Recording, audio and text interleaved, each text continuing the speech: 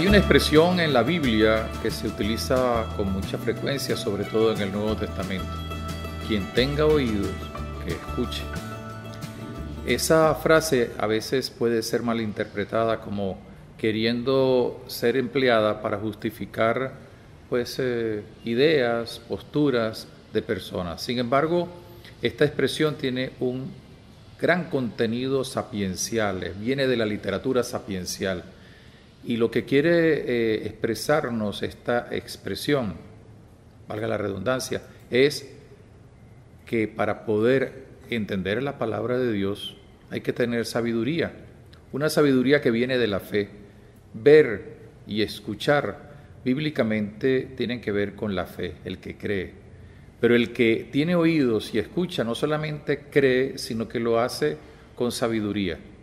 Por eso en las eh, parábolas del reino de Dios, así como en el Apocalipsis, el autor sagrado emplea esta expresión, esta frase, quien tenga oídos que escuche, precisamente para invitar a estas dos grandes realidades, la fe, lo que hay que creer, pero que hay que creer con sabiduría.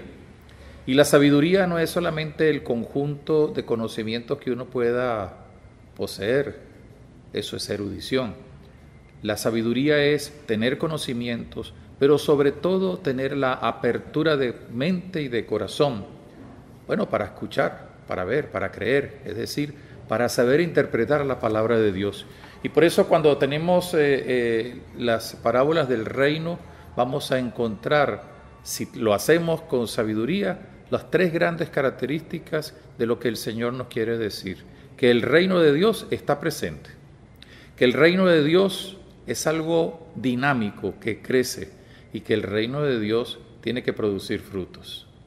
Pero para poder entender esto, para poderlo poner en práctica, hay que tener oídos para escuchar, los oídos de la fe, los oídos que implican esa sintonía, esa comunión con el Dios de la sabiduría que ilumina nuestras mentes, nuestros corazones, precisamente para así poder eh, aplicar, sacar conclusiones y sobre todo crecer en la fe.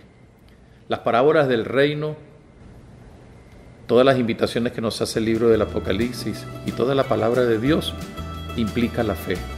El que tenga oídos, que escuche.